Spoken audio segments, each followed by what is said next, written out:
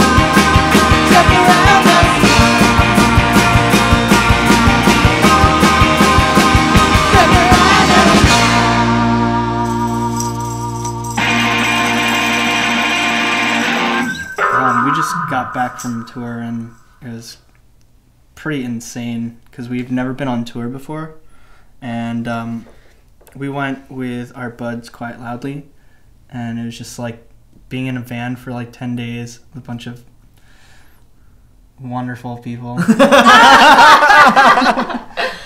thought it went no, it really was it went really well. We didn't get sick of, of anybody. No, there was nothing Um, crazy. Like really, it was we so slept smooth. pretty well too, surprisingly. you know why? It's because we didn't do any of the driving. yeah. John Paul did some Oh, driving John at the did Oh, yeah, the last stretch Yeah, he the last stretch, right? No, But I.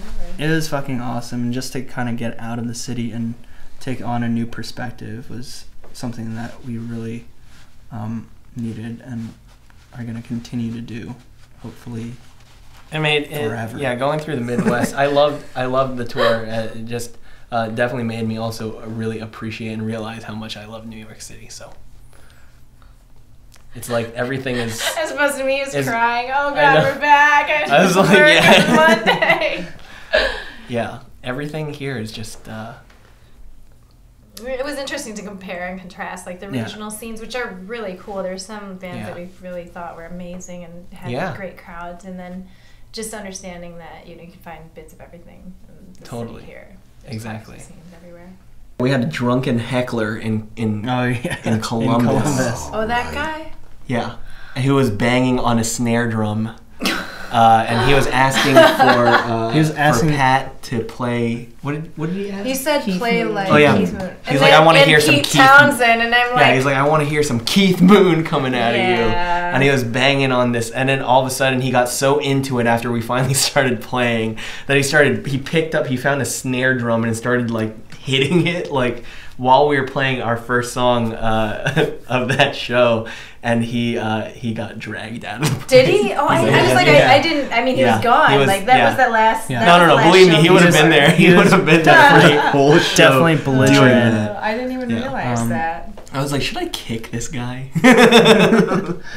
He wouldn't even I- know. He, would, he Meg said it wouldn't was really funny to see that whole thing from the crowd because Yeah. she said all five pair of our eyes were just Yeah. Darting burning at it. in this guy. we were just like, well, you maybe bet. He was having fun, I didn't but- I don't notice. You didn't notice? it? No, no. No, no, I but was he having, was- well, you know, when I we was were setting with. up, and I'm like, this ass. Oh yeah, that guy, if I have to swing my bass at someone on tour, it's gonna be him. It's true. Well, I was just getting like I was way in the corner, like getting like entangled. My guitar. How about we do that next time? If we ever get a drunken heckler in the front row, let's all just take the headstocks of our thing in unison. And we just give ourselves that, that signal and just like Yeah.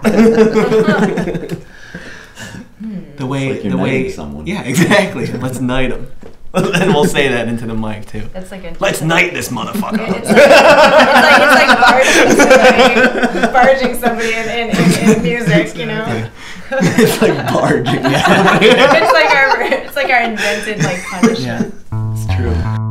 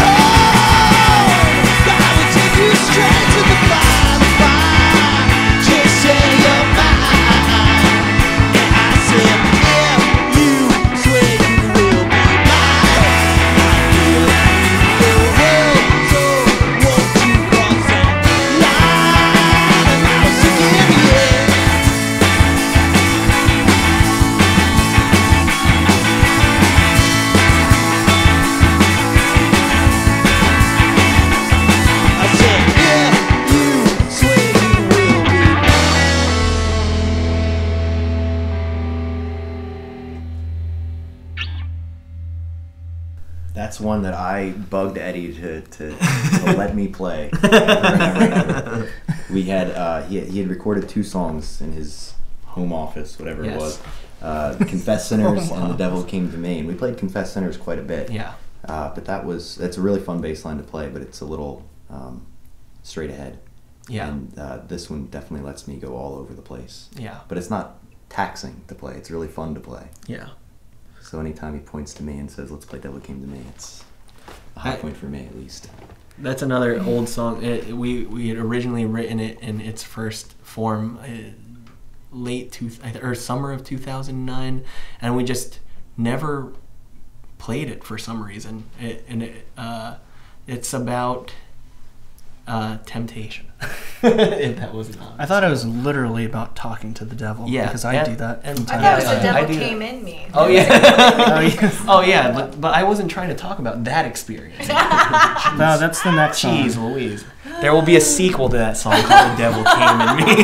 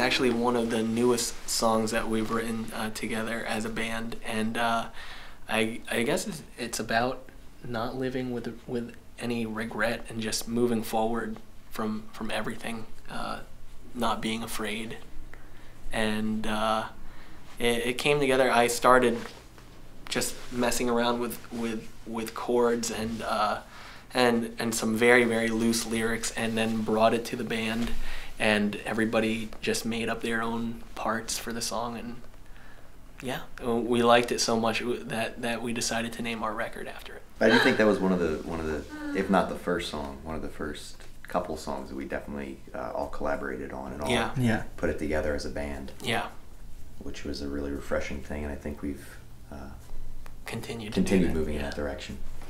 Definitely. Eddie trusts me now. Yes. Definitely. You've been. You're a lieutenant now. Keep it up and you'll be captain by. I'm still park ranger. I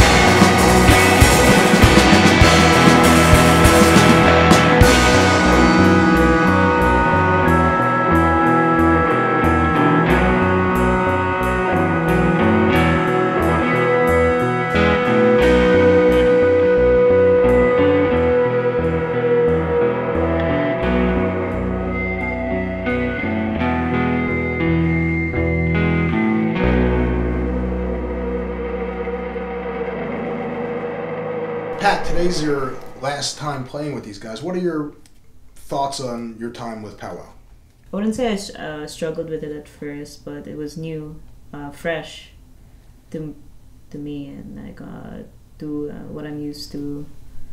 Yeah, I like it because um, like they're really genuine with um,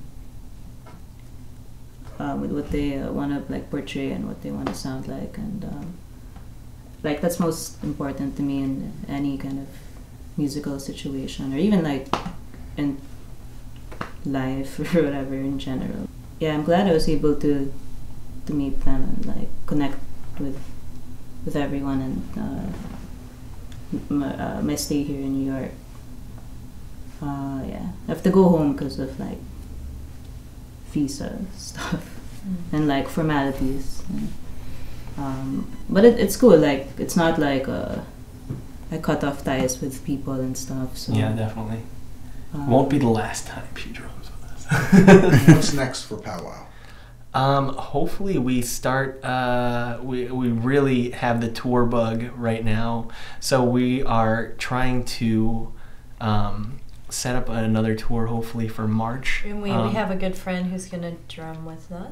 Yes, From uh, we another we have band. um, Sal from Quiet Loudly, uh, who we went on tour with. The band that we went on tour with, amazing guys, Yeah, amazing band. Great drummer. Um, and we're gonna start playing with him very soon. So, uh, yeah, set up another tour. We uh, also are gonna be shopping our record around to labels in hopes of, of sharing this Oh, record. and we are gonna press the Yes, album on and- and- and vinyl. press the, the album on uh, vinyl.